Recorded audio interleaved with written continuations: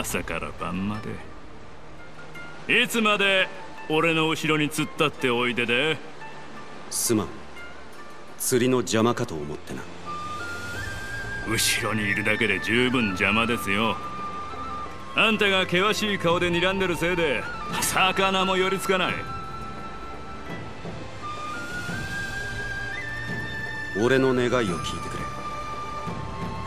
友に忠告されたのだ俺はどうも時に傲慢に見えるらしい。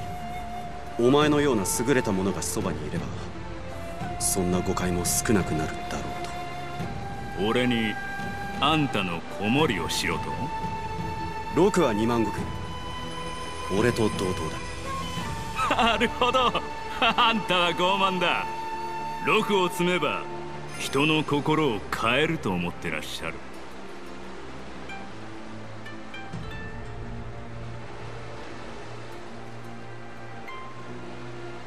だがあんたの決意は伝わりましたよ。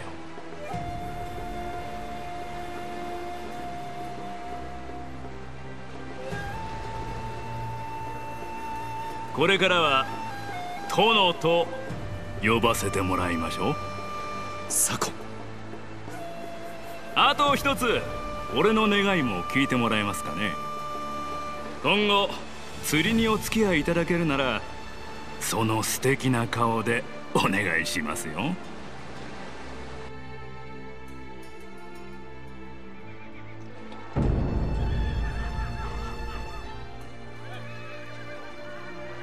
四国を制覇しあとは九州と関東。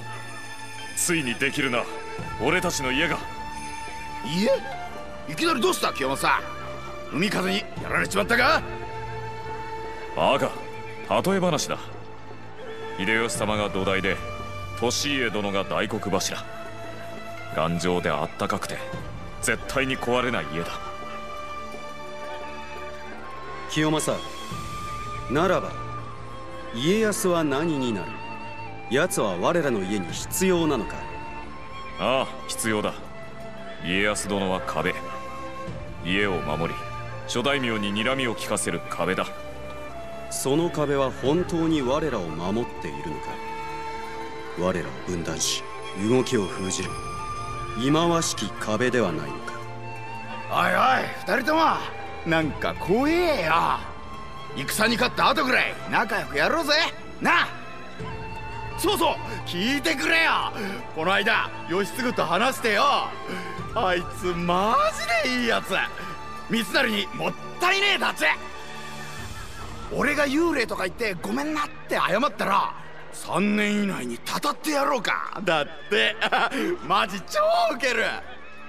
それって何気に怒ってないか？え？そうなの？